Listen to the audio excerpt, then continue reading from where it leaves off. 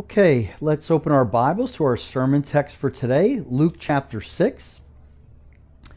As you can see on the screen behind me, today we will be studying verses 1 through 5 as we see picked grain and the Sabbath controversy. We will also be celebrating the Lord's Supper today as well.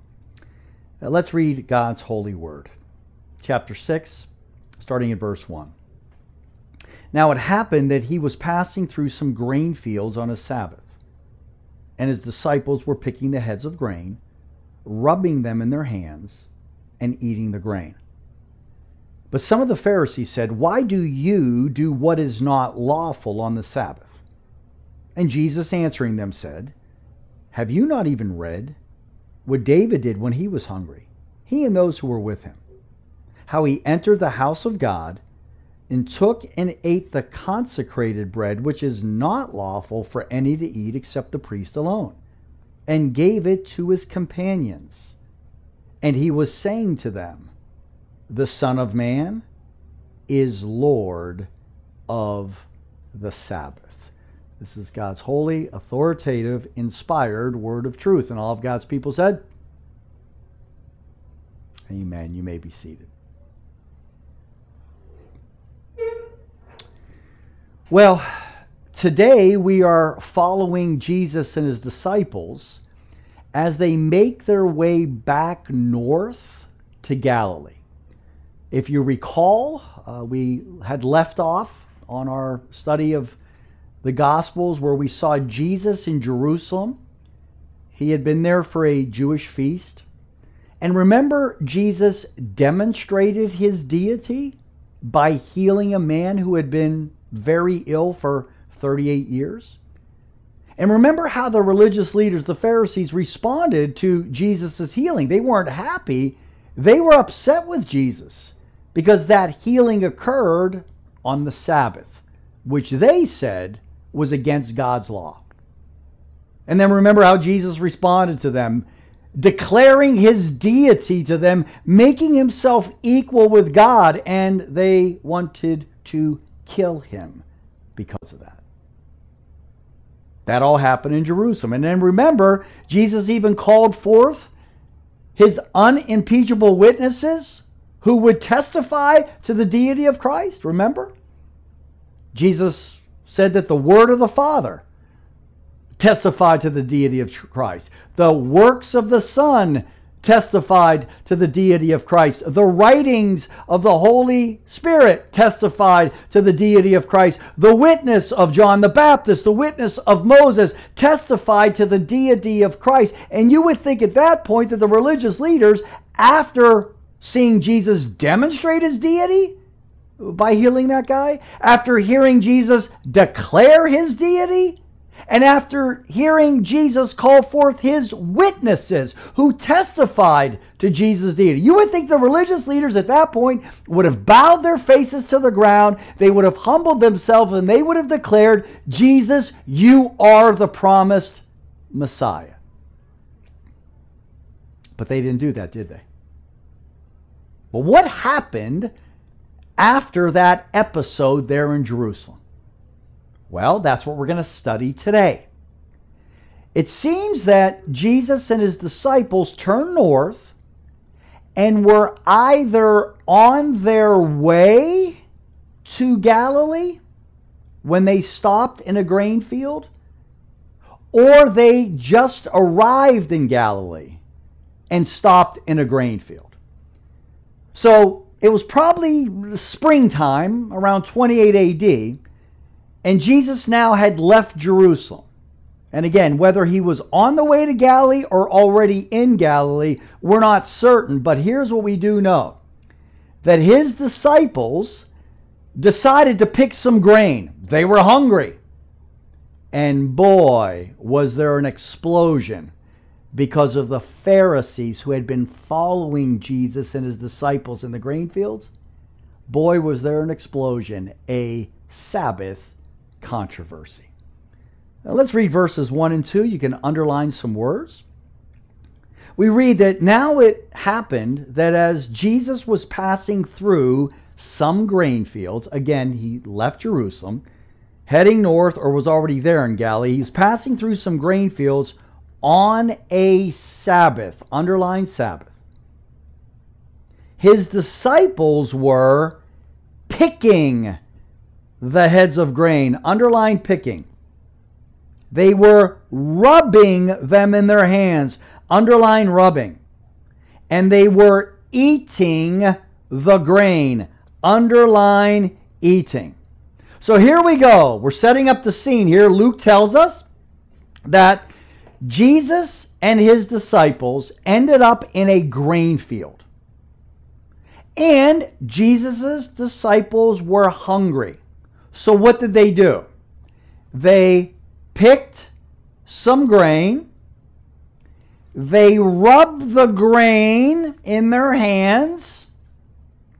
They tossed out the chaff and they ate the grain. You with me? They picked grain. They rubbed the grain. They tossed out the chaff and they ate the grain. And how did the religious leaders respond to Jesus when they saw this? Verse 2 Some of the Pharisees said to Jesus, Why do you, why do you do what is not lawful on the Sabbath. Uh, Matthew's version and Mark's version say that the Pharisees said to Jesus, Why do your disciples do something that's unlawful? Uh, but ultimately, even when they said that the disciples were doing something wrong, they were accusing Jesus because they were his disciples. He was their teacher. So we see now what happened. Jesus and his disciples were in a grain field. They picked grain, they rubbed grain, they tossed out the chaff, and they ate the grain. And we see that the Pharisees said to Jesus, Why do you do what is not lawful on the Sabbath? Now imagine that. Jesus, God in the flesh, right? The perfect God man, the lawgiver these religious leaders had the audacity to say that the lawgiver was the lawbreaker? Well, where did they come up with this? I mean, do you see any law of God being broken by picking, rubbing, and eating grain? These guys were hungry. What law of God concerning the Sabbath, what law of God in the Old Testament did they break? Well, let's just take a quick look through a couple passages in the Old Testament to see what God had to say about the Sabbath. And let's see if these Pharisees actually had a reason to get upset, right? Uh, let's go real quick. Go to Genesis chapter 2. Genesis chapter 2, this is where we see the first mention of a Sabbath. Verses 1 through 3, we read Thus the heavens and the earth were completed, and all their hosts. By the seventh day, God completed his work which he had done and he rested on the seventh day from all his what? Work. Six days of creation, seventh day, God rested. Why? Was God tired? No. But God was setting in place a cycle. Six days of work, seventh day of rest and refreshment. And God set that in place for us as humans, right? So God rested on the seventh day from all his work which he had done. Verse 3 Then God blessed the seventh day. Jewish calendar, seventh day would be a Saturday, right? The Sabbath. So we see God. Who blessed the seventh day? God. Say it again. Who blessed the seventh day? Who set it apart? God did. Remember that. We'll come back to that in a little bit. Then God blessed the seventh day and sanctify it, set it apart as a special holy day. Why did God do this? Because in it he rested from all his work which God had created and made. So, we see here in Genesis 2 God instituting the Sabbath. God blessed it, God set it apart, and God made it clear six days work, seventh day, you're not allowed to do the same work you were doing the previous six days. The seventh day is a day of refreshment, rest, recovery, rejoicing in the Lord, focusing on the Lord, worshiping the Lord, finding your strength in the Lord, right? Did the disciples of Jesus break any laws that we just read? I don't see anything. Do you? Uh, let's go to Exodus chapter 20. Uh, we see here, Exodus chapter 20, uh, God's people were on the way to the promised land. They took a stop at Mount Sinai, where God, through Moses, gave his commands to his people. And here in Exodus 20, in the Ten Commandments, verses 8 through 11, we see God commanding his people, the nation of Israel, regarding the Sabbath. We read God said to them, Remember the Sabbath day to keep it holy. Six days you shall labor and do all your work. But the seventh day is a Sabbath of the Lord your God. In it you shall not do any work, you or your son, or your daughter, your male or your female servant, or your cattle, or your sojourner who stays with you. For in six days the Lord made the heavens and the earth, the sea and all that is in them, and rested on the seventh day. Therefore, the Lord blessed the Sabbath day, and the Lord made it holy. So we see God giving in the Ten Commandments a specific command about the Sabbath. Six days, do your normal work. Seventh day, you don't follow that same cycle. You rest, you recover, right? Genesis 2, we see the institution of the Sabbath. God blessed it. God set it apart. Exodus 20, we see God giving his command to the people regarding the Sabbath, right? Now, did Jesus' disciples break any Sabbath law? I'm not sure I see anything at this point. Do you? Well, maybe they were referring specifically to what God had said about being in the grain field on the Sabbath. Uh, go to chapter 34, Exodus, same place.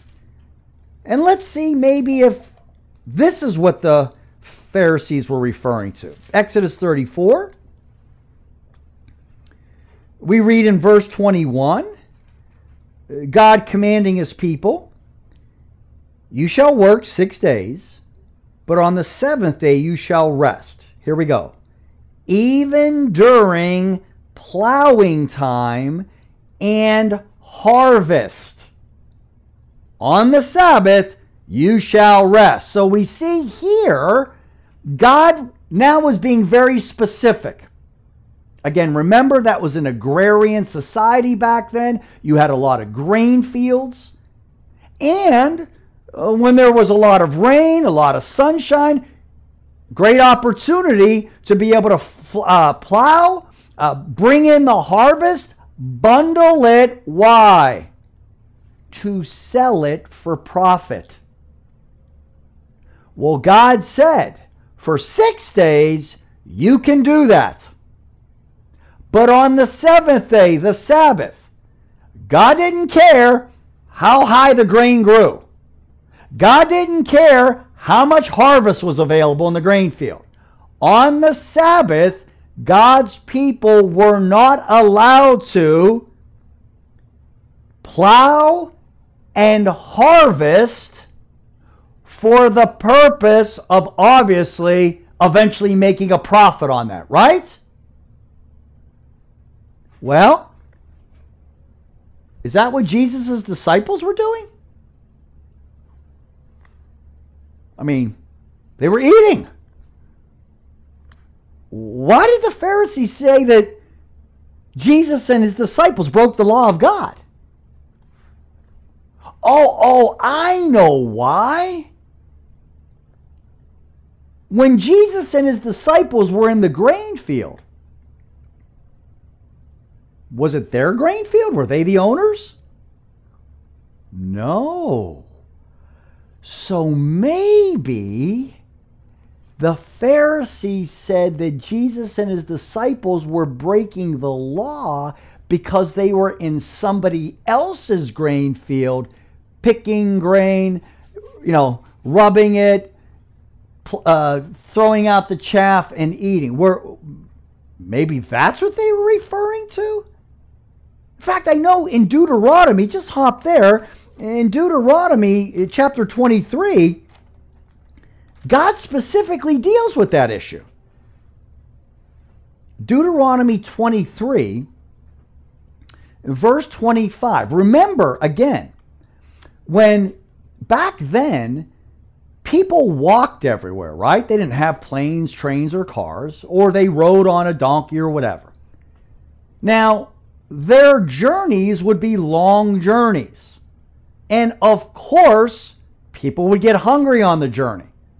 And because there were grain fields everywhere, obviously people would pull off the main road, go to a grain field, and start to eat.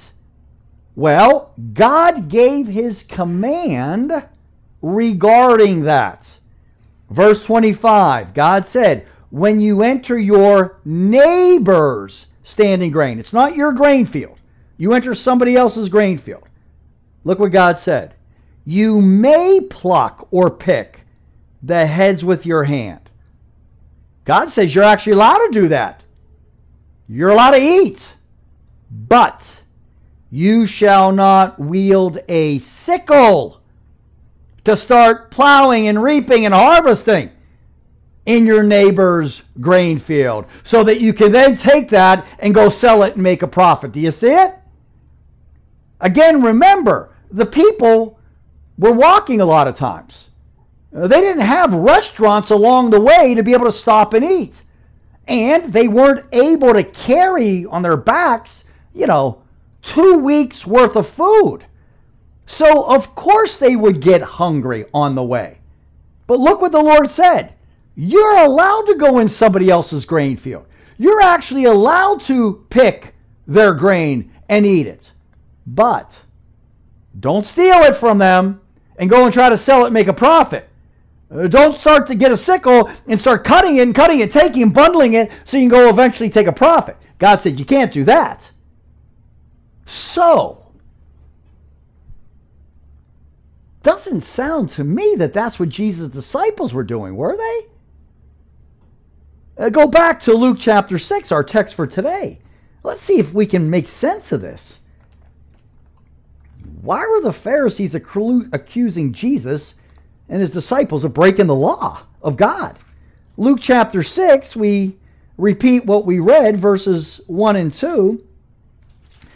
We see now that it happened as Jesus was passing through some grain fields on a Sabbath, and his disciples were picking the heads of grain, rubbing them in their hands.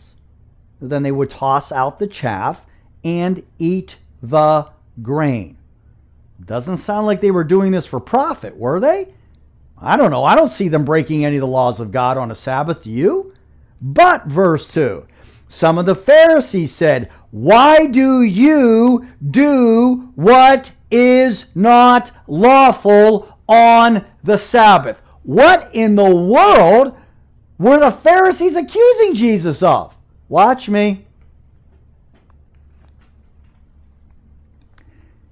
They said that by picking the grain, that was equivalent to reaping a harvest. They said by rubbing the grain, that was equivalent to threshing, separating. They said by tossing out the chaff and then eating the grain, that was equal to winnowing. And that's why the Pharisees said that Jesus and his disciples were breaking the law. It wasn't God's law because nowhere in the Old Testament do we see that. The Pharisees made their own human traditions. And they set up their human religious traditions around God's Word and even over God's Word. So much so that they actually came up with their own traditions that said picking grain is equivalent to reaping it. Rubbing grain is equivalent to threshing. Eating is equivalent to winnowing. That's why they said that Jesus and his disciples broke the law because they said, up by doing this, that Jesus and his disciples were actually working on the Sabbath. Sounds crazy, doesn't it? I mean, are you kidding me? But this is what the Pharisees and scribes always did. They denied the sole absolute authority of God's word. And instead, they added their own human traditions to be next to or even above God's word. So they believed God's word, the Old Testament, to be true. But they did not believe that God's word was sufficient, that it was the sole authority. That's why they elevated their human religious traditions to be next to God's Word.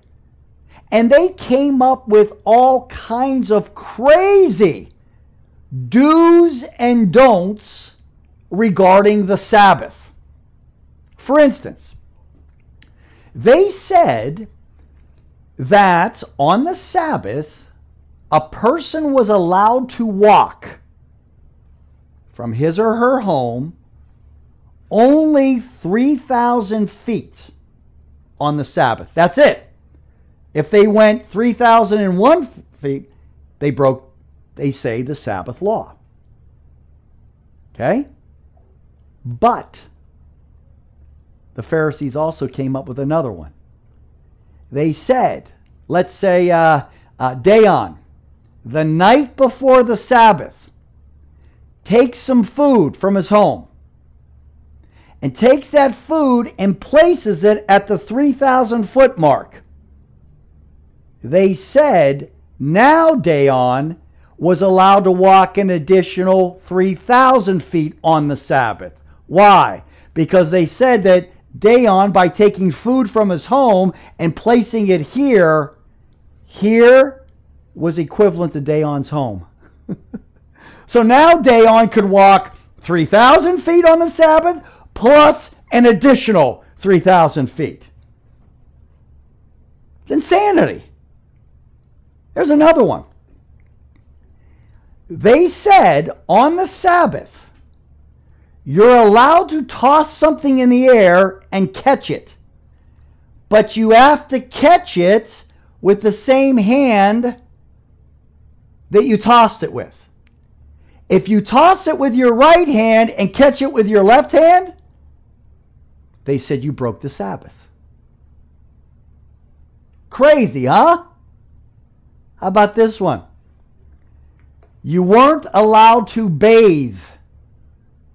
To go in a bathtub, put water in, you're not allowed to bathe on the Sabbath. Why? Think about the bathtubs back then. Very small, right? What would inevitably happen with the water once you got inside of the little tub? The water would spill out. And they said, You're not allowed to bathe because what's going to happen is when the water spills out, you're going to naturally want to wipe the water from the floor. They said that's working on the Sabbath. And ladies, this one's for you. Ladies, you are not allowed to look in a mirror on the Sabbath. You know why? Because if you looked in the mirror and maybe you found maybe a gray hair, you would be tempted to pull it out. And the Pharisee said that was work on the Sabbath.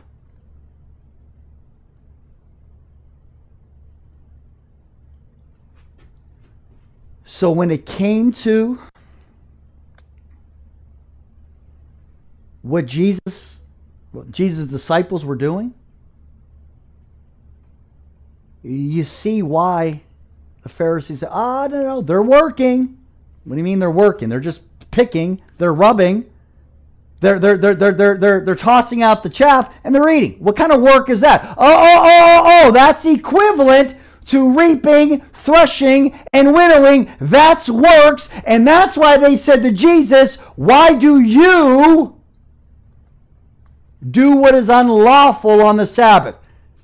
Of course, Jesus wasn't breaking God's law. Jesus, the perfect God man, is the lawgiver, right? But Jesus, according to the Pharisees, was breaking their religious human traditions. So, how did Jesus respond to them? Verse 3 Jesus answered them and said, Have you not even read? Stop right there. See what Jesus said here? They said, Why do you do what is not lawful on the Sabbath? Jesus said to them, um, Have you not even read? Two things on that when every time you look in the gospels and jesus responds that way have you not even read? You realize he's rebuking people? It's like you have the audacity to accuse me of breaking god's law. Have you not even read god's law? You the pharisees who are supposed to be the experts on god's law you the pharisees and the scribes who are supposed to be the guardians of god's law have you not even read so Jesus was rebuking that. But there's a second thing. When Jesus says, Have you not read? He's referring obviously to the Old Testament, right? Because the New Testament wasn't written at this point. By saying, Have you not even read? What is Jesus saying about the Old Testament? It's authoritative. It's God's authoritative word. It is sufficient. It is clear. Perspicuity of Scripture, that's called. And it is necessary. Jesus obviously had a very high view of the Old Testament, but of course, right? Unfortunately, today, a lot of people are taught that as Christians, we really don't need to study the Old Testament. We can unhitch ourselves from the Old Testament. That was for the Jews back then.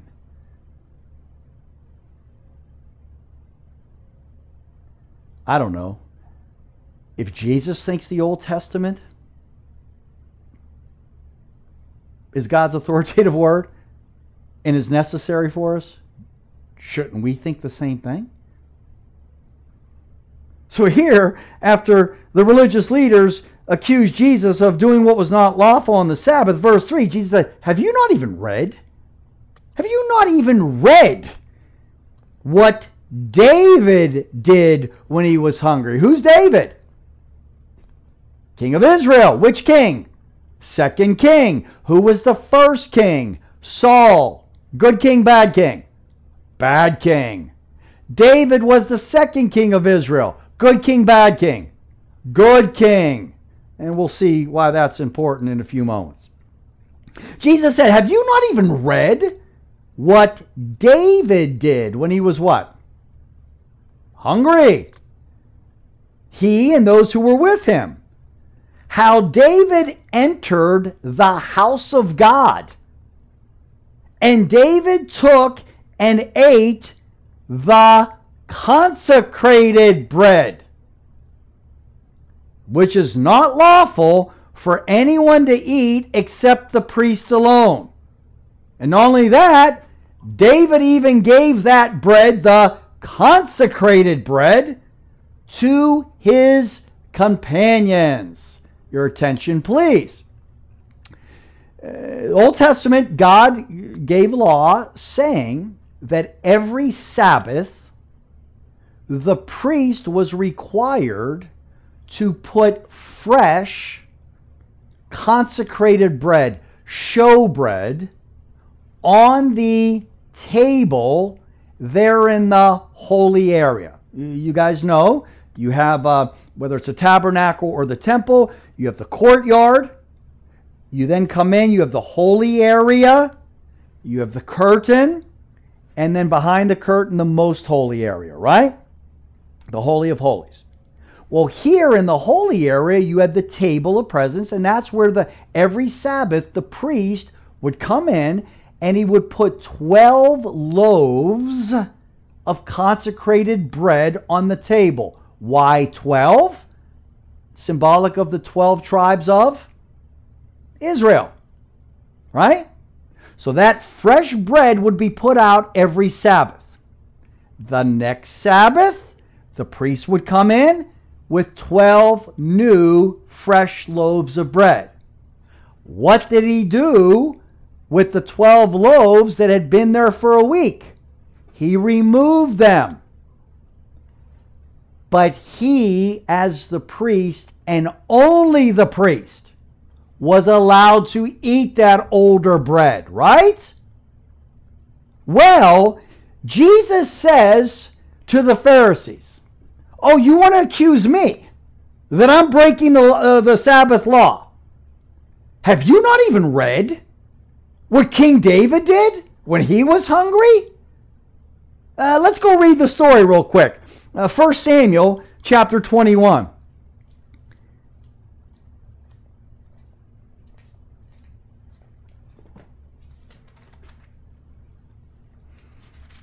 First Samuel 21 Again, who was the first king of Israel? Saul, right? Uh, God removed him and was going to put his own king, King David, in that position. Well, Saul, was he happy when he found out that he was no longer going to be king and that David was going to be? Not quite. So Saul was constantly trying to kill David. Saul became a madman, right? Well, here in chapter 21, David and his companions had been running from Saul. Saul was out to kill David.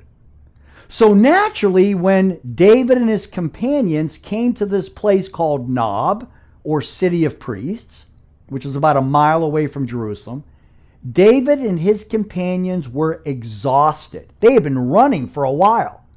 They were thirsty and they were what? Starving. Let's see what happens chapter 21, verse 1.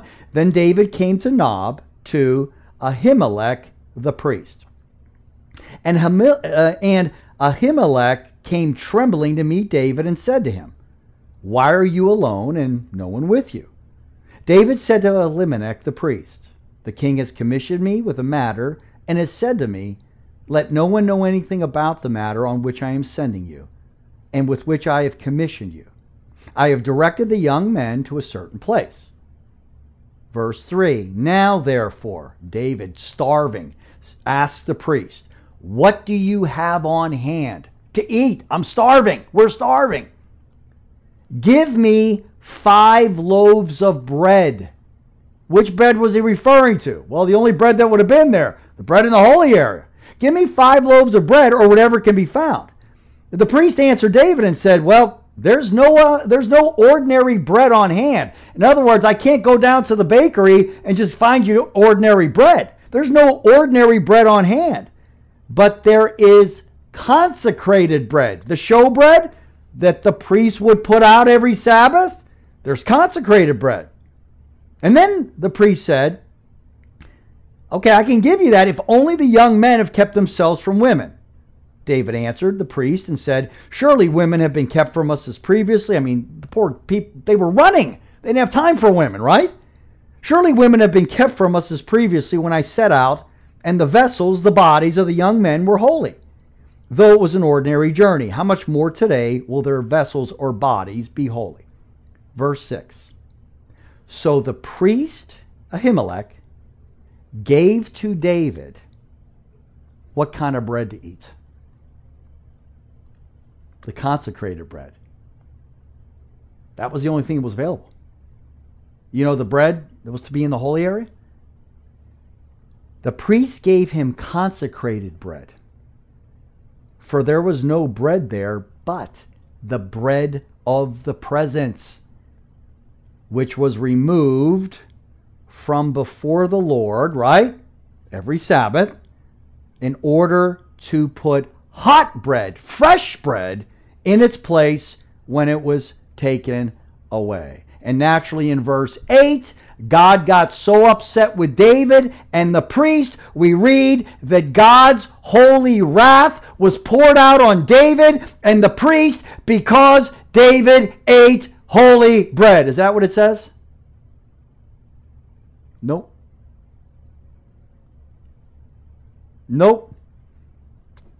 In fact, nowhere in Scripture are we told that even though that bread of presence, once it was removed, was only to be eaten by the priests, we see that the priest, looking at David and his companions and thinking they're going to starve to death, he gave that bread.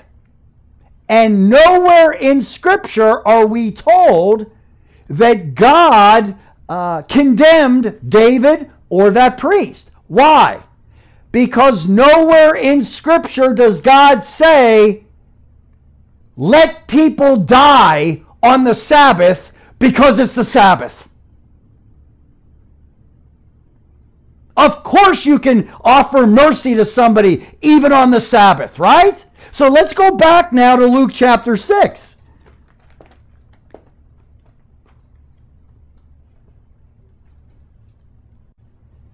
Again, starting in verse 1, we know it happened that as Jesus was passing through some grain fields on a Sabbath, and his disciples were picking the heads of grain, rubbing them in their hands, and eating the grain, the poor men were starving to death.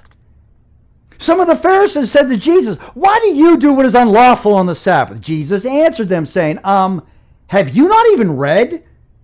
You experts of the law? Have you not even read what King David did when he was hungry, he and his companions? How David entered the house of God there in Nob.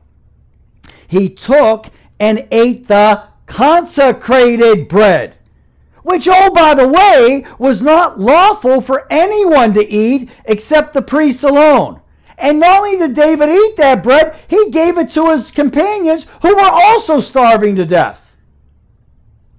And notice Jesus doesn't say, and God struck them dead? Why? Because nowhere in Scripture does God say if someone's starving to death, if someone's dying from a disease, if somebody, you know, uh, is in a life-threatening situation, nowhere does God say, "Well, Sabbath, you gotta let, just let them die." And that's why Jesus really nailed the Pharisees by saying, You you never read? You know King David. Obviously, you know King David. You're religious leaders, right? You know who David is. Haven't you read what happened there? Oh, you can imagine religious leaders going, Oh, yeah, we read that. We know that story. Well, how come God didn't strike them dead?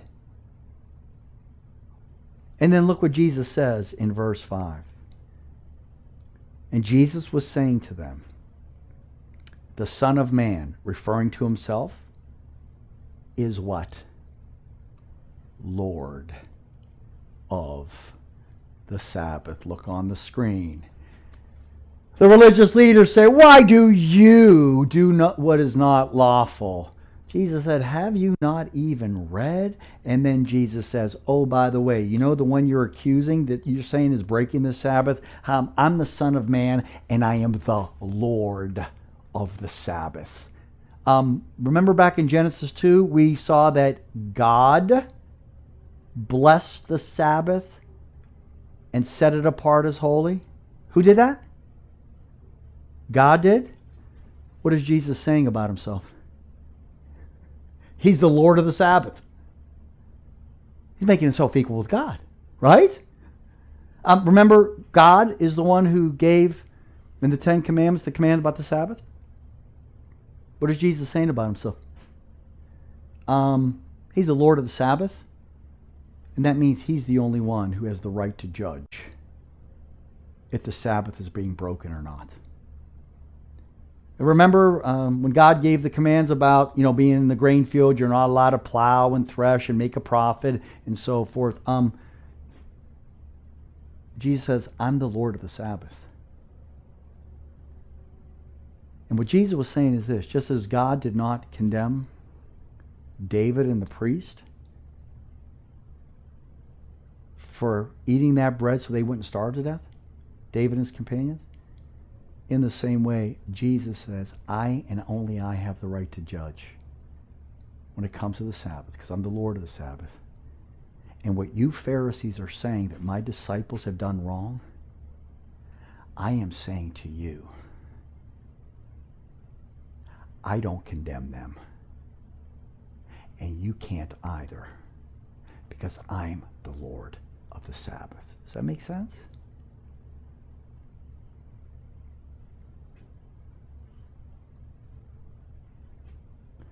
So again, the Pharisees had the audacity to blame the lawgiver. They said he broke the law? She said, wait a second, haven't you even read? And oh, by the way, the one you're standing here and accusing, I'm the Lord of the Sabbath. I'm God. Did Jesus ever declare his deity? right there, right? In fact, uh, let's look at Matthew and Mark's version real quick, and we'll uh, we'll come to a close here. Uh, Matthew 12. Let's see. Matthew gives us a little bit more information that Jesus had said in that grain field. Matthew 12, verses 1 through 8. We read, At that time, Jesus went through the grain fields on the Sabbath. And his disciples became hungry and began to pick the heads of grain and eat. But when the Pharisees saw this, they said to him, Look, your disciples do what is not lawful on the Sabbath. Again, by blaming Jesus' disciples, they were also blaming Jesus, right? Because they were his disciples. Verse 3 uh, Jesus said to them, um, Have you not read? Have you not even read? I love that statement. Have you not read what David did when he became hungry, he and his companions? how he entered the house of God and they ate the consecrated bread, which was not lawful for him to eat nor for those with him, but only for the priests alone. And look what Matthew's version adds that Jesus said. Verse 5 Or have you not read in the law that on the Sabbath the priest in the temple break the Sabbath? Well, how do they do that? What are they doing on the Sabbath in the temple? They're serving. They're ministering, right? And yet, look what Jesus said. But they are innocent, innocent in God's eyes, because God and God alone has the right to judge what is lawful and unlawful on the Sabbath. And Jesus says, verse 7, quoting Hosea 6 6 in the Old Testament, what God said, I desire compassion, not sacrifice. If you had understood this, you would have not condemned the innocent. And again, Jesus says, For the Son of Man is Lord of the Sabbath. Uh, go to Mark's version, chapter 2. We get a little bit more information there about some things Jesus said in the grain fields. Mark chapter 2, verses 23 through 28, we read And it happened that Jesus was passing through the grain fields on the Sabbath, and his disciples began to make their way along, picking the heads of grain. The Pharisees were saying to him, Look, Why are they doing what is not lawful on the Sabbath? And Jesus said to them, Have you never read what David did when he was in need? And he and his companions became hungry? How he entered the house of God in the time of Abiathar, who was the son of Ahimelech. And David ate the consecrated bread which is not lawful for anyone to eat except the priest. And he also gave it to those who were with him. And here we go. Uh, Mark's version adds this Jesus said to them, The Sabbath was made for man. In other words, the purpose of the Sabbath given by God. And here is Jesus, the Lord of the Sabbath, explaining that purpose, saying the Sabbath is for man to rest in the Lord, to recover in the Lord, to rejoice in the Lord, to find refreshment in the Lord. The Sabbath was made for man. Six days you work, but the seventh day in the Lord. The Sabbath was made for man not the man for Sabbath. You see, the religious leaders were putting all of these human, man made religious traditions on the shoulders of the people to the point that the Sabbath became so brutally oppressive. Nobody could rest in the Lord. Nobody could rejoice in the Lord. They were carrying this massive yoke of human traditions regarding the Sabbath. They could barely make it through the day. They were so confused with all these different do's and don'ts. Do we take a bath? Do we not take a bath? Uh, you know, do I toss it in this hand or toss it in that hand? Jesus said the Sabbath was made for man, not the man for Sabbath. And then he says in verse 28 and so the Son of Man is Lord even of the Sabbath.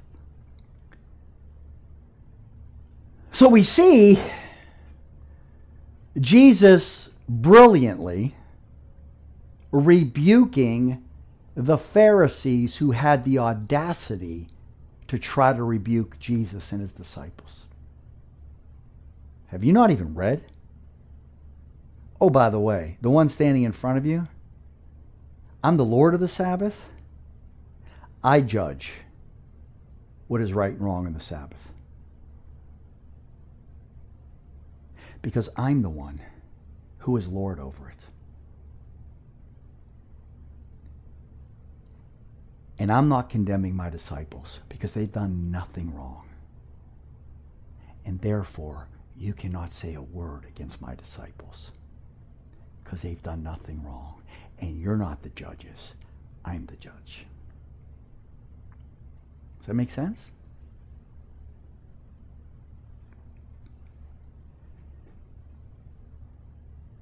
Do you see how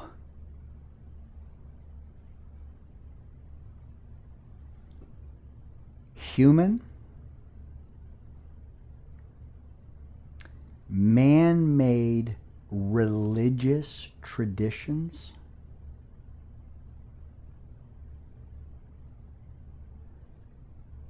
can cause confusion, oppression,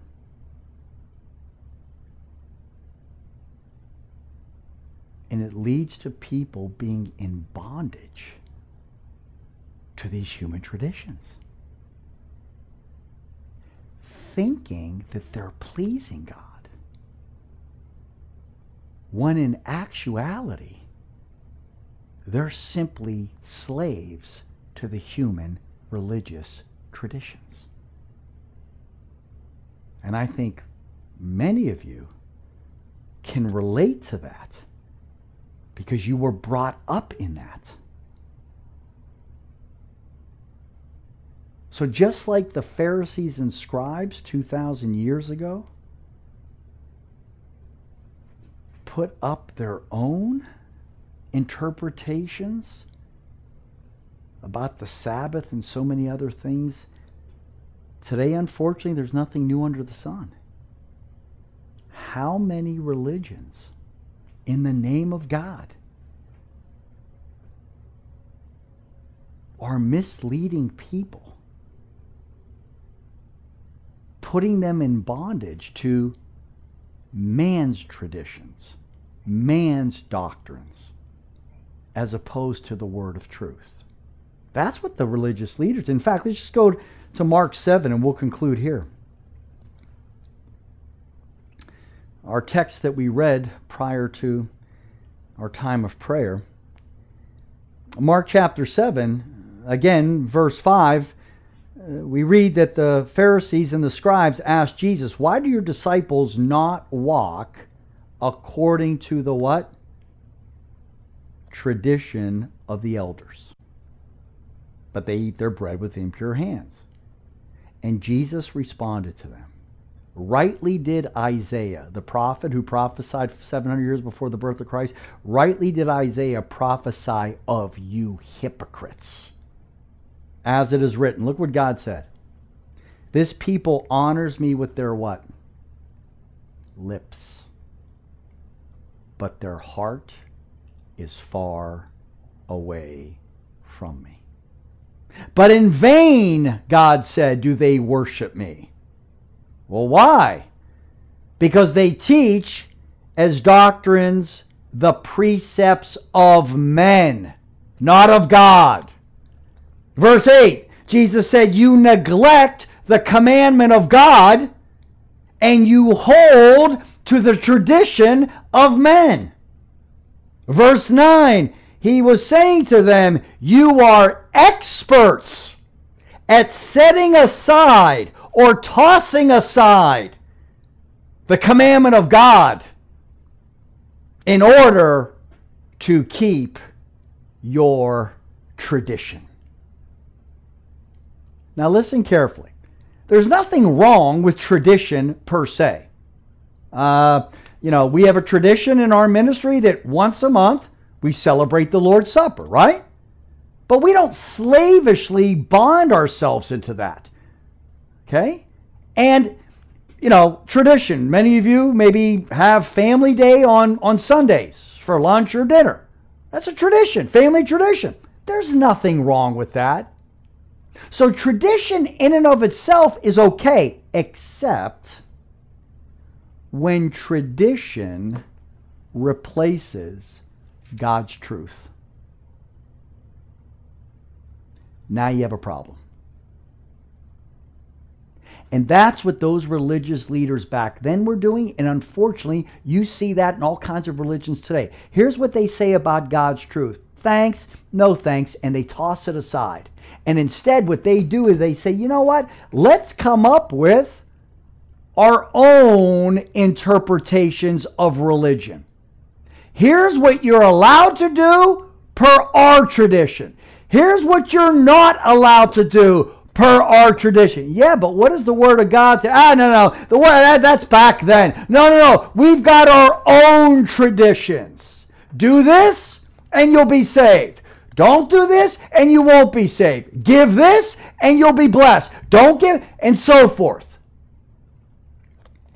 And friends, that is not of God. That is of the devil. If you take any human teaching and you make it authoritative, equal to God's word, or even above God's word, what you have done is you've denied the authority of God's word, you've tossed God's truth aside, and you're left with man's ideas. Really? What did Jesus have to say about that? Haven't you read? And yet today, and maybe many people you know, they have all kinds of opinions, beliefs when it comes to how God should be worshiped, where God should be worshiped, when God should be worshiped. They have their own opinions, their own ideas, their own thoughts. Really? So we, as fallen, finite humans, have the right to define how God should be worshiped? What? We have the right to say, well, look, um, you know, eh, this is how, through our traditions, our rituals, this is how we can please God. Where did you get that? Well, the traditions. Haven't you even read?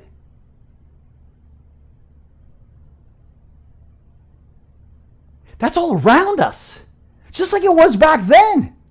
I mean, you think about it, these religious leaders who were supposed to be the guardians of truth. They tossed God's truth aside. And they came up with their own interpretation of things. Can't take a bath on Sabbath. You may spill water and be tempted to wipe it. That's work. Can't look in no mirrors, lady. You may see a white hair, gray hair. You may be tempted to pick it. That's work. Jesus, why do you and your disciples break the law of God?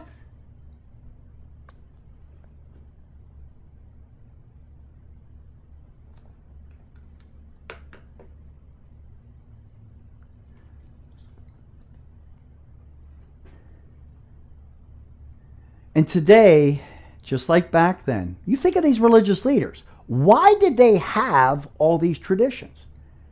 Because they were trying to impress God through their own efforts. Look how holy, look how righteous, look how religious I am, God. You need to accept me on that day. You need to let me into heaven. Look at all these things I've added to your word, God, and that I'm following.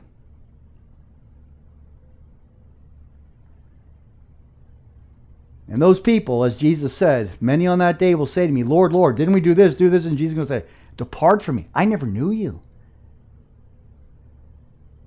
And the same today. So many people have their own ideas, their own opinions, their own interpretations on how they're getting to heaven. Well, haven't you even read? No, we don't need to read the Bible. What do you mean you don't need to read the Bible? Then how do you know what, what God says on how you get to heaven? Well, this is what I feel. This is what I think. Really? Is anybody concerned about what God says? God thinks? What God feels? No, see, people don't want to read God's truth because inevitably, when you read God's truth, what does God say about you and me? that we're beautiful and lovable and cuddly, and that God's going to accept us in heaven no matter how we live down here on earth? No, that's not what God's truth said. Haven't you even read?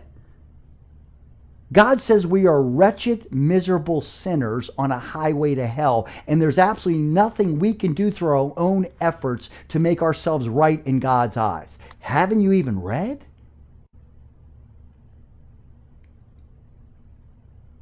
And no amount of human religious traditions, no matter how, uh, uh, how good your intentions are, guess what? Good intentions don't get you to heaven. In fact, Bible says good intentions, human effort, human tradition, apart from God and His grace, get you to hell. Haven't you ever read? But praise God, God is a God of love and mercy. And God's love and mercy is not that He lets us live any way we want to live and do whatever we want to do. And then on that day, we just show up and He's like this Santa Claus and say, Oh, you were okay. Da, da, da. Let me just let you in. No. Haven't you ever read? Hell is a real place, and real people are going to be there, and real religious people like these Pharisees who thought that they were so wonderful and so spectacular because of their human traditions and had the audacity to try to condemn our Lord, who's the Lord of the Sabbath those people, apart from Christ, they're in hell for eternity. Weeping and gnashing of teeth, experiencing God's just judgment forever. Haven't you even read? And that's why we want to be people of the book. We want to know what God says. And so we know that God says we're wretched, miserable sinners, and there's nothing we can do through our own efforts to make ourselves right in God's sight. But God is a God of love, and God in His love. 2,000 years ago, the Father sent the Son, God the Son, to this earth.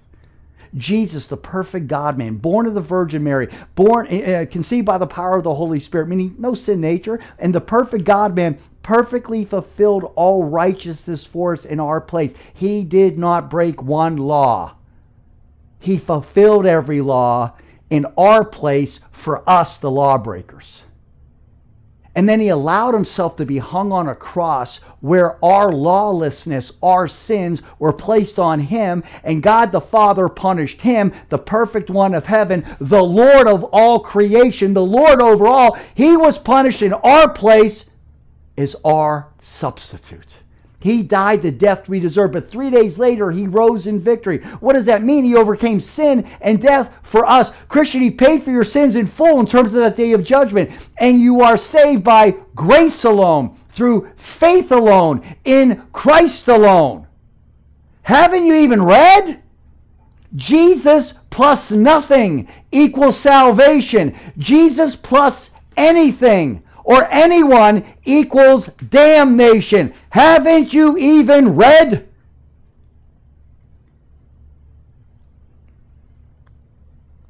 And my hope and prayer is that every one of you are 100% certain that you have trusted in Christ alone, trusted in who He is the perfect God man, trusted in what he has done for you, fulfilling all righteousness for you, and perfectly paying for your unrighteousness once for all time. I pray that you have trusted in him and that you have cried out to him, Have mercy on me, the sinner, and that you know that you're in God's family forever and that you are not falling into that satanic trap of tossing aside God's word and following human religious traditions.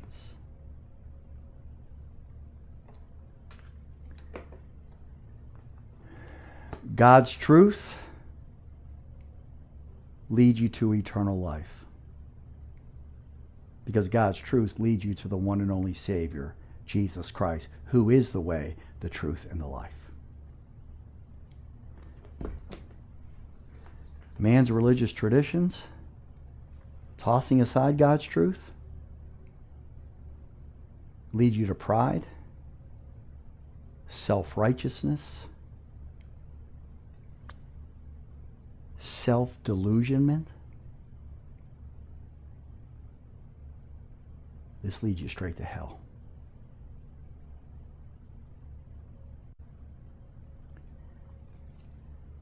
We want to be people of the book.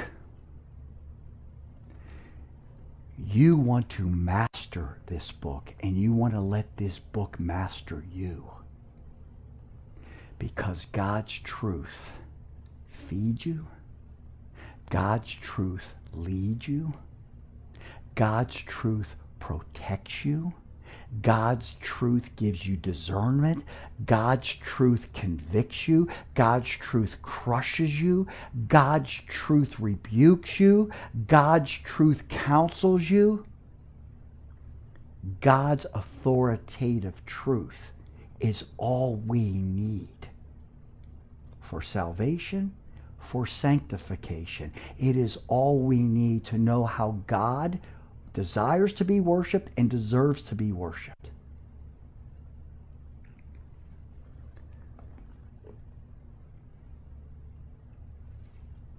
That's why we are people of the Bible.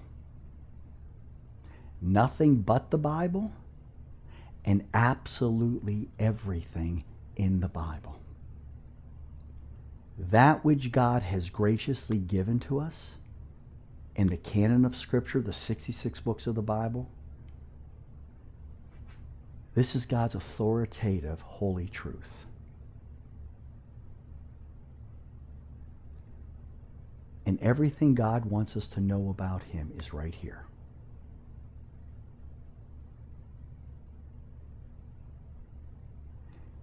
And every day, you and I have to make a decision. Are we going to hold firmly to God's truth no matter the cost?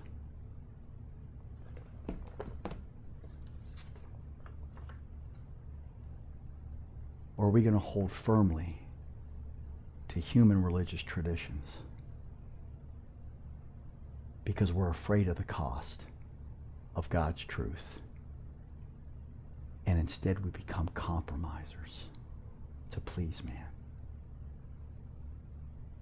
Think about your life, your family, how you want to live the rest of your life here on earth. Following man's plans, man's traditions, or God's holy truth. Amen.